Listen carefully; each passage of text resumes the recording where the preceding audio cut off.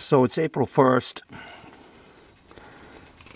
um, about 10.30 in the morning. and uh, it's been a long winter. So this will be my first ride out this year. Uh, I haven't been in a lot of hurry since we've still got a lot of snow, as you can see, here in Ashby, Massachusetts.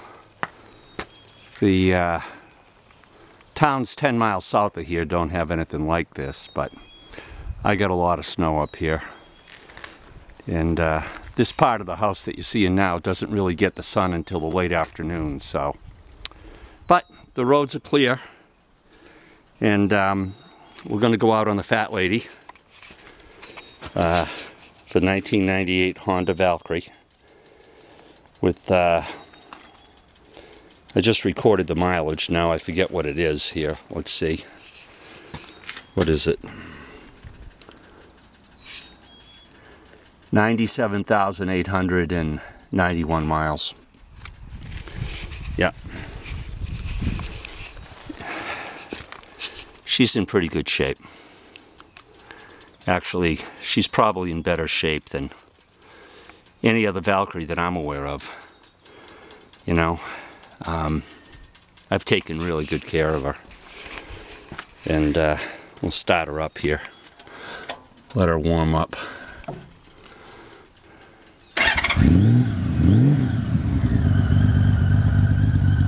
Those are the uh, Mark T pipes. Uh, I actually have the baffles in those pipes right now. Um, you know, when he guts the stock ones, he can make you those uh, those baffles.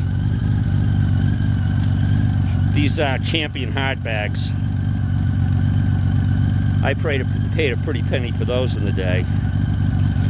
This is, uh, I guess this is, I have people begging me for this all the time. This is a uh, hard to find piece of chrome. Um, some guy up in New Hampshire used to make them. Beautiful piece of chrome. Of course, I still have all the stock stuff as well. So, nice little true temp, temp gauge there.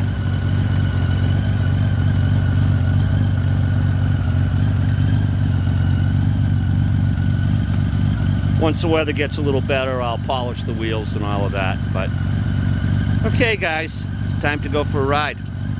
Later.